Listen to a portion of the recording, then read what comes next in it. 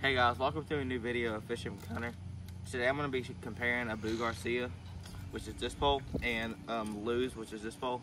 Um, I have the Silver Max and the American Hero pole. Um, I'm going to be giving you my honest opinion on which one I like better and um, the reason why. And yeah, so let's get right into it.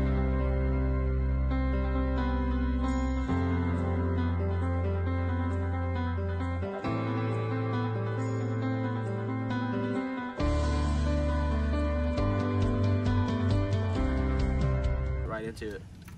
Um, I like Lew's better for multiple reasons because I like uh, how their their brand works and how they support other other people and um, people through like hard times and stuff.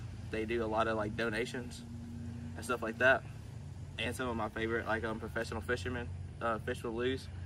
Um, I own quite a few uh. I own this American Hero and um, uh, let me think of the other poles I own.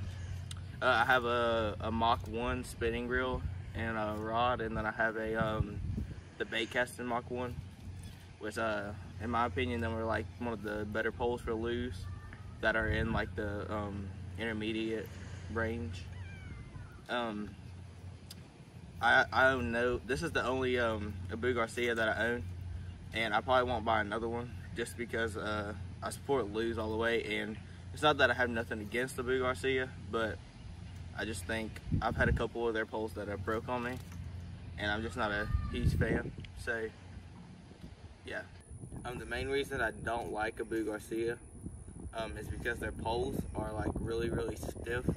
So it's hard to, if you have anything that's like little, then you're not going to be able to feel on most of the poles. Some of their poles are like really, really too flimsy. They don't have like a medium in between their poles.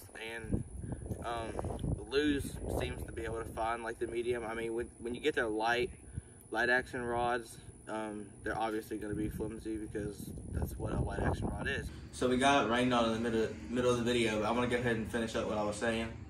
Um, can find better, they their actions, like their light action is where I think it should be for like bluegill or whatever you want to fish with light action.